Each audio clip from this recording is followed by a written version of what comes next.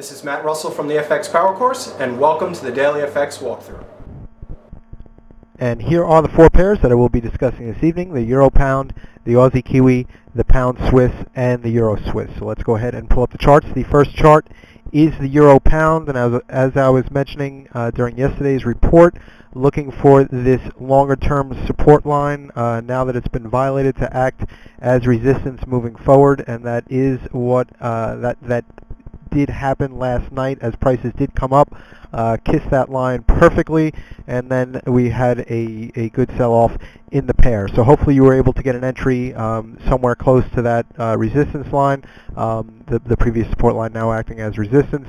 And if you're in this trade, I would continue to hold the trade uh, right now and look for prices to take out the low of this candle here, which is in this, the 89.54 uh, area. The next chart is the Aussie Kiwi. Not much has changed here either. Um, again, this is just the bounce off that 38.2. I would continue to hold this position. Maybe look to take profits anywhere above that 124 figure. Uh, but again, as of right now, there's really no no entries uh, that I can see um, moving forward here. Um, so if you are long from that 38.2, I would continue to hold. Again, looking to take profits above that 124 figure. Next chart is the pound Swiss, and this is the daily chart, and prices are getting close to the to the entry that I was describing during the past several reports. Looking at this borderline uh, head and shoulder pattern here, uh, I would like to place my stop again in the 70-70 area, uh, maybe even 70-80 or 70-90. So looking for prices to get up uh, close to that area to justify uh, a favorable risk-reward. Prices right now in the 69-65 uh, area. So again, I'm looking for prices to get up maybe another 30 pips or so.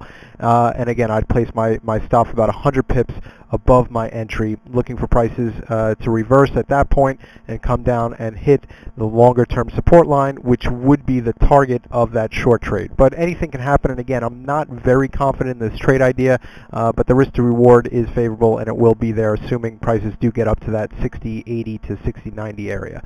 Next chart is the Euro Swiss, and not much has changed here. We did have the close above. This is the bull flag pattern that I've been speaking about for the past several reports.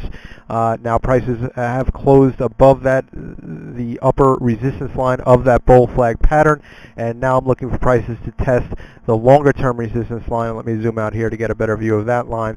So that's what I'm looking for here. We have the, the very sharp rally, the bull flag prices breaking out right now and looking looks like they're headed for a test of that longer term resistance line. Now a little more, if you're a little more aggressive, you might look to enter uh, close to this area here. Uh, I don't like this candlestick pattern here. That's a borderline shooting star. Uh, but moving forward, uh, using this line here as your stop point, but it would, it's a little bit too much risk in my opinion. So the more conservative play again would be wait, wait for prices to come and test the longer term resistance line on the daily chart. Again, my name is Matt Russell. I'm an FX Power Course instructor here at FXCM. Thanks for listening.